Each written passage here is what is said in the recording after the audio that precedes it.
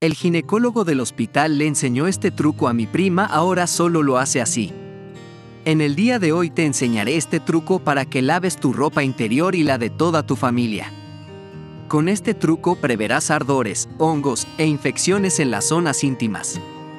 Por eso es muy importante lavar la ropa interior correctamente como te mostraré a continuación. Para iniciar con este truco empezaré agregando un litro de agua en una cacerola. Ahora debemos dejar hervir el agua. Antes que lo olvides dime desde donde nos miras para así enviarte un saludo especial en un próximo video. Luego agregaremos el agua en un recipiente y vamos a esperar a que se enfríe. Ahora vamos a colocar las bragas en el recipiente. El primer ingrediente que vamos a utilizar es el bicarbonato de sodio. De este solo usaremos una cucharada. También vamos a añadir una cucharada de sal gruesa o sal marina.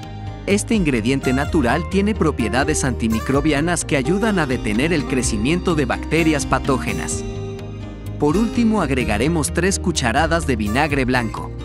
Puedes utilizar el de tu preferencia. El vinagre de manzana. Ayuda a equilibrar el pH vaginal.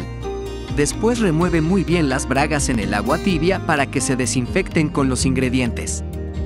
Con este truco los hongos, ardor y bacterias ya no serán un problema. Si has llegado hasta aquí mirando esta receta, eso significa que te está gustando mucho. Si es así, déjame la siguiente frase. Quiero mis bragas limpias para así poder enviarte un saludo especial en un próximo video. Amigos, estoy que estoy haciendo aquí es un prelavado. Cuando lavamos de la forma tradicional dejamos la ropa perfumada y limpia.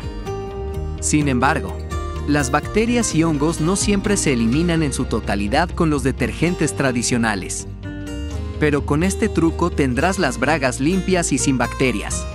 Esto lo debemos mover muy bien y dejar en remojo durante 15 minutos. Cuando haya pasado todo este tiempo, puedes lavar tu ropa con los detergentes tradicionales.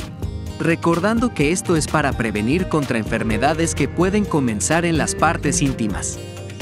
Me encantaría que califiques este truco del 1 al 10 para saber si te gustó el resultado. Amigos, espero que les haya gustado mucho el consejo de hoy. El saludo de hoy es para Olga García y Rosmairi Rodríguez. Gracias por ver y disfrutar nuestros videos.